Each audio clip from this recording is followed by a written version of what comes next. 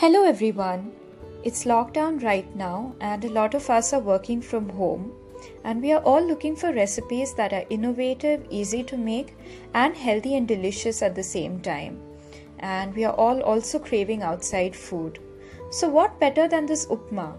This upma that we are making is exactly like the upma you get in restaurants. It's soft and crumbly and melt in the mouth, and a perfect breakfast recipe.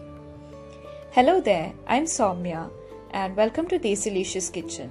So, without much ado, let's check out how to make this delicious upma. So, to prepare this upma, here I'm heating 1 teaspoon ghee. When the ghee is hot, let's add 2 tablespoons of broken cashew nuts and roast these on a low flame until the nuts turn golden. So the nuts have now turned golden Let's transfer these to a bowl and set them aside. Now in the same kadhai, let's heat 2 tablespoons of ghee and once the ghee is hot, let's add 2 teaspoons of chana dal and 2 teaspoons of urad dal and the flame is very low. These lentils just have to slightly change color. We need to take care not to burn them. Once the lentils have slightly changed color, let's add in 1 cup of fine rava. Flame is very low. Take care not to brown the rava. Do not hurry at all. It took us 10 minutes to roast this rava on a very low flame and the aroma is awesome. We are switching off the flame now and transferring this mixture to a bowl. Here is an important tip. After this rava mixture cools down, you can store it in an airtight container and keep it in room temperature without refrigeration for at least 15 days. Use this rava mix whenever you want to make upma. You do not, have to roast it again. All you have to do is after the temp after tempering, add this mix to boiling water.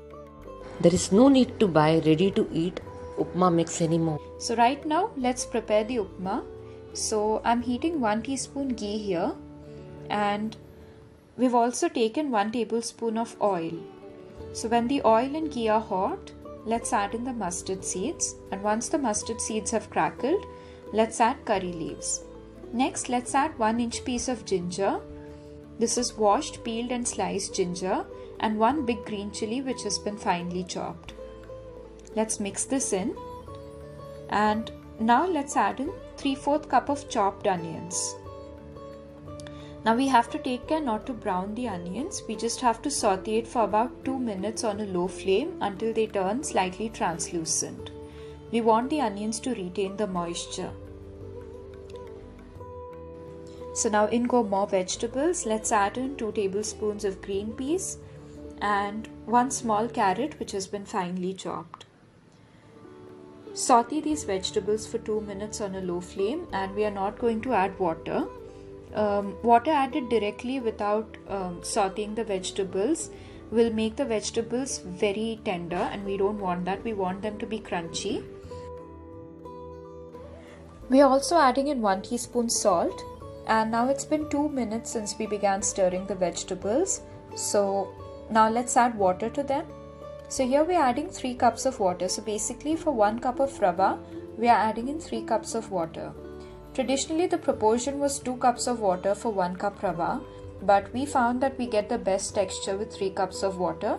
And uh, remember that the correct quantity of water is very important because otherwise the upma either gets very sticky or very dry. So now let's cover and cook these vegetables for 2 minutes until the water comes to a rolling boil so here the water has come to a boil and even the aroma is amazing. So now let's gradually add in the rava. Uh, remember to add the rava little by little, ensuring that there are no lumps.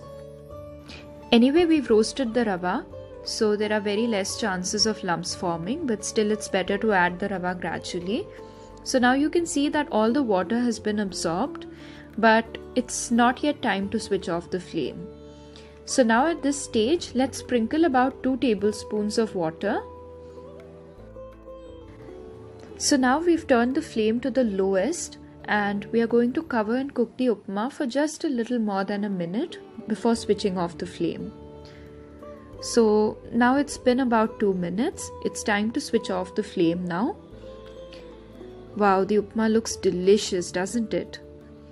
Let's just top this with 1 teaspoon of ghee. This enhances the taste and flavor of the upma. Finally, let's garnish the upma with our roasted cashew nuts. But wait, it's not time to serve the upma yet. Let's cover and cook this upma for 3 minutes before serving. After 3 minutes, we've filled a bowl with upma and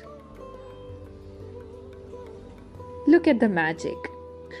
So the upma has formed a mold very easily, but then when you try to break the mold, it also demolds very easily. And it's also very soft and crumbly but right now it's very hot and after it cools down it becomes even more crumbly. Friends, if you like this video, give us a thumbs up by pressing the like button, subscribe to Desilicious Kitchen and share this video. Thank you so much for watching. Take care.